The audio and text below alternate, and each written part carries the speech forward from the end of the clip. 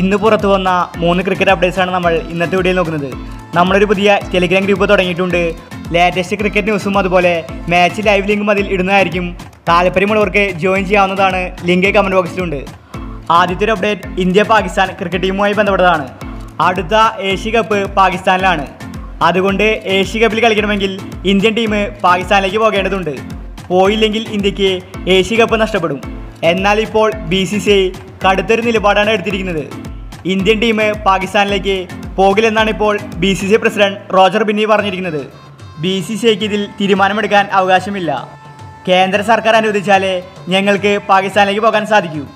ഇങ്ങനെ പറഞ്ഞപ്പോൾ Pakistan cricket board അടുത്ത വർഷത്തെ ഏകദിന ലോകകപ്പ് കളിക്കാൻ ഇന്ത്യയിലേക്ക് വരില്ലെന്നാണ് ഇപ്പോൾ പറഞ്ഞിരിക്കുന്നത്.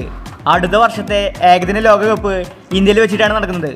ഇന്ത്യ ഏഷ്യ കപ്പിന് പാകിസ്ഥാനിലോട്ട് പോയില്ലെങ്കിൽ അവർ ഏകദിന വേൾഡ് കപ്പ് കളിക്കാൻ ഇങ്ങോട്ടും വരില്ലെന്നാണ് ഇപ്പോൾ പറഞ്ഞിരിക്കുന്നത്. അടുത്തൊരു അപ്ഡേറ്റ് കേരളത്തിന്റെ ഐ പി എൽ ടീമുമായി ബന്ധപ്പെട്ടതാണ്. മുൻപ് കേരളത്തിന് ഒരു ഐ പി എൽ ടീം ഉണ്ടായിരുന്നു. കൊച്ചി ടസ്കേഴ്സ് എന്നായിരുന്നു അതിന്റെ പേര്. പിന്നീട് ചില പ്രശ്നങ്ങൾ കാരണം അത് പൂട്ടിപ്പോവുകയാണ് ചെയ്തത്. ഇതാ കേരളത്തിന് അടുത്തൊരു ഐ പി എൽ ടീം വരാൻ പോവുകയാണ്. ഇത്തവണ മെൻസ് ഐ പി എൽ അല്ല വുമൺസ് ഐ പി എല്ലിന്റെ ടീമാണ് വരാൻ പോകുന്നത്.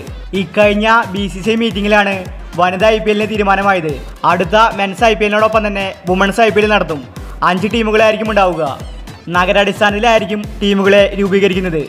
ദക്ഷിണേന്ത്യയിൽ നിന്ന് കൊച്ചിയെയും വിശാഖപട്ടണത്തെയും ഐ പി എൽ ടീമുകളായി പരിഗണിക്കുന്നുണ്ടെന്നാണ് റിപ്പോർട്ട്. അങ്ങനെ കേരളത്തിനും ഒരു ഐ പി എൽ ടീം വരാൻ പോവുകയാണ് അടുത്തൊരു അപ്ഡേറ്റ് ഇന്ത്യൻ ടീമിന്റെ സെലക്ഷൻ കമ്മിറ്റിയുമായി ബന്ധപ്പെട്ടതാണ്. നിലവിൽ ചേതൻ ശർമ്മയുടെ കീഴിലുള്ള ഇന്ത്യൻ ടീമിന്റെ സെലക്ഷൻ കമ്മിറ്റിക്ക് വലിയ വിമർശനമാണ് കേൾക്കുന്നത്. ഇപ്പോഴിതാ പുതിയ B C C president Roger Benny സ്ഥാനമേറ്റു. ഇത്തവണത്തെ വേൾഡ് കപ്പ് കഴിഞ്ഞതിന് ശേഷം സെലക്ഷൻ കമ്മിറ്റിയെ പൂർണമായും മാറ്റുമെന്നാണ് റിപ്പോർട്ട്. പുതിയ സെലക്ഷൻ കമ്മിറ്റി വന്നാൽ അത് സഞ്ജുവിന് ഗുണകരമാണ്. നിലവിൽ ചേതൻ ശർമ്മയുടെ കീഴിലുള്ള സെലക്ഷൻ കമ്മിറ്റിക്ക് സഞ്ജുവിനെ അത്ര ബോധിച്ചിട്ടില്ല. സഞ്ജുവിനെ അങ്ങനെ ടീമിലേക്ക് എടുക്കാൻ അവർ താല്പര്യപ്പെടാറില്ല.